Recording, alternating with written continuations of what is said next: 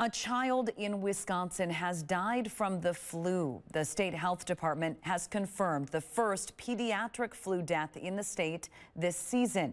DHS did not release any information about the age of the child who died or any indication of when the death happened.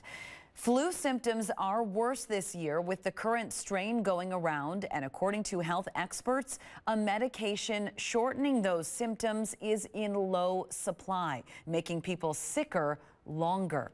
NBC 15's Marcus Aarsvold joins us live in the studio to share how hospitals and pharmacies are rationing the drug Tamiflu during the time they need it most. SSM Health is only prescribing Tamiflu to younger and older populations, most at risk for developing dire influenza symptoms.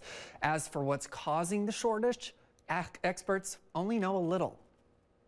Medicine typically flies off the shelves during flu and cold season at Hometown Pharmacy in Waunakee, but this go around, one shelf more than others. One day um, we'll have the adult dose of the Tamiflu in. Um, the next day it's out of stock in the warehouse. When customers call in with prescriptions for Tamiflu, they might be disappointed with the results. Right now there's one box in stock, when usually they'd have five times that. Pharmacist Heather Walker is now tasked with finding the flu symptom shortening drug elsewhere. It's been a big challenge to find time to call around and try to find it somewhere else for patients. The shortage is caused by supply chain issues, according to leaders at SSM Health. Unfortunately, everybody who we would in normal circumstances offer Tamiflu uh, two, we just aren't able to give them the, the drug right now. As a result, only older, younger, and those with chronic health problems can get a prescription. And health officials predict the limit will stay in place for a while. The shortage is going to be long term. This will not be over in a week or two. Instead of turning to medicine when it might be too late,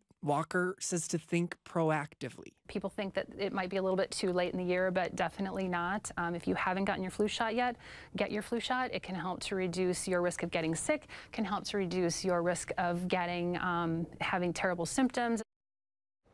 While the shortage continues, if you're experiencing influenza symptoms, Walker recommends people stay home if possible, avoid close contact with others, and wear a mask in public. Live in the studio, Marcus Aarsvold, NBC 15 News.